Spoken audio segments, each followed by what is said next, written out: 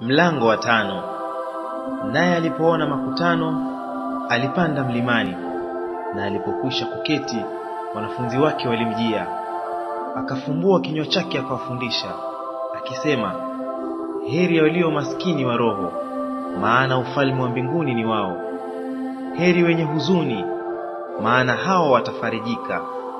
Heri wenye upole, maana hao watairithi nchi. Heri wenye njaa na kiu ya haki, maana hao watashibishwa. Heri wenye rehema, maana hao watapata rehema. Heri wenye moyo safi, maana hao watamwona Mungu. Heri wapatanishi, maana hao wataitwa wana wa Mungu. Heri wenye kuudhiwa kwa ajili ya haki, maana ufalme wa mbinguni ni wao. Heri ninyi watakapowashutumu na kuwaudhi na kuwanenea kila neno baya kwa uongo kwa ajili yangu. Furahini na kushangilia, kwa kuwa thawabu yenu ni kubwa mbinguni, kwa maana ndivyo walivyowaudhi manabii waliokuwa kabla yenu. Ninyi ni chumvi ya dunia, lakini chumvi ikiwa imeharibika itatiwa nini hata ikolee? Haifai tena kabisa, ila kutupwa nje na kukanyagwa na watu. Ninyi ni nuru ya ulimwengu. Mji hauwezi kustirika ukiwa juu ya mlima, wala watu hawawashi taa na kuiweka chini ya pishi, bali juu ya kiango, nayo yawaangaza wote waliomo nyumbani. Vivyo hivyo nuru yenu na iangaze mbele ya watu, wapate kuyaona matendo yenu mema, wamtukuze Baba yenu aliye mbinguni.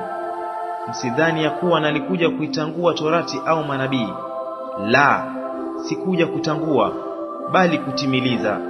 Kwa maana amin nawaambia, mpaka mbingu na nchi zitakapoondoka, yodi moja wala nukta moja ya torati haitaondoka, hata yote yatimie.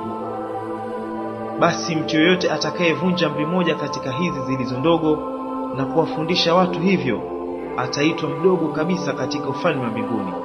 Bali mtu atakayezitenda na kuzifundisha, huyo ataitwa mkubwa katika ufalme wa mbinguni.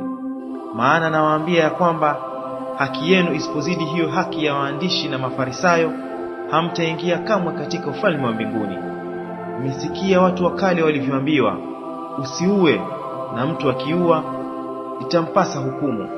Bali mimi nawaambieni, kila amwoneaye ndugu yake hasira itampasa hukumu, na mtu akimfyolea ndugu yake itampasa baraza, na mtu akimwapiza itampasa jehanamu ya moto. Basi ukileta sadaka yako madhabahuni, na huku ukikumbuka ya kuwa ndugu yako ana neno juu yako, iache sadaka yako mbele ya madhabahu, uende zako, upatane kwanza na ndugu yako, kisha urudi uitoe sadaka yako. Patana na mshtaki wako upesi, wakati wapo pamoja naye njiani, yule mshtaki asije akakupeleka kwa kadhi, na kadhi akakupeleka kwa askari, ukatupwa gerezani. Amin nakwambia hutoki humo kamwe hata uishe kulipa senti ya mwisho. Umesikia kwamba imenenwa, usizini. Lakini mimi nawaambia, kila mtu amtazamaye mwanamke kwa kumtamani amekwisha kuzini naye moyoni mwake.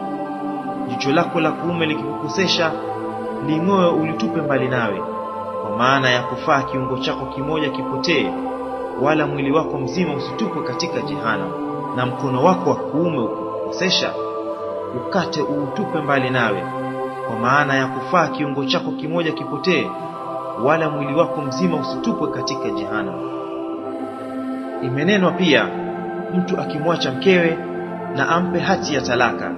Lakini mimi nawaambia, kila mtu amwachaye mkewe, isipokuwa kwa habari ya ushirati, amfanya kuwa mzinzi, na mtu akimwoa yule aliyeachwa azini. Tena mmesikia watu wa kale walivyoambiwa, usiape uongo, ila mtimizie Bwana nyapo zako. Lakini mimi nawaambia, usiape kabisa, hata kwa mbingu, kwa maana ndicho kiti cha enzi cha Mungu, wala kwa nchi, kwa maana ndiyo pa kuwekea miguu yake, wala kwa Yerusalemu, kwa maana ndiyo mji wa mfalme mkuu. Wala usiape kwa kichwa chako, maana huwezi kufanya unywele mmoja kuwa mweupe au mweusi bali maneno yenu yawe ndiyo ndiyo, siyo siyo, kwa kuwa yazidiyo hayo yatoka kwa yule mwovu. Mmesikia kwamba imenenwa, jicho kwa jicho na jino kwa jino. Lakini mimi nawaambia, msishindane na mtu mwovu, lakini mtu akupigaye shavu la kuume mgeuzie na la pili. Na mtu atakaye kukushtaki na kuitwaa kanzo yako mwachie na joho pia. Na mtu atakayekulazimisha mwendo wa maili moja nenda naye mbili. Akuombaye mpe, naye atakaye kukopa kwako usimpe kisogo. Mmesikia kwamba imenenwa, umpende jirani yako na umchukie adui yako. Lakini mimi nawaambia, wapendeni adui zenu, waombeeni wanaowaudhi, ili mpate kuwa wana wa Baba yenu aliye mbinguni. Maana yeye huwaangazia jua lake waovu na wema, huwanyeshea mvua wenye haki na wasio haki. Maana mkiwapenda wanaowapenda ninyi, mwapata thawabu gani? Hata watoza ushuru, je, nao hawafanyi hayo hayo? Tena mkiwaamkia ndugu zenu tu, mnatenda tendo gani la ziada? Hata watu wa mataifa, je, nao hawafanyi kama hayo? Basi ninyi mtakuwa wakamilifu kama Baba yenu wa mbinguni alivyo mkamilifu.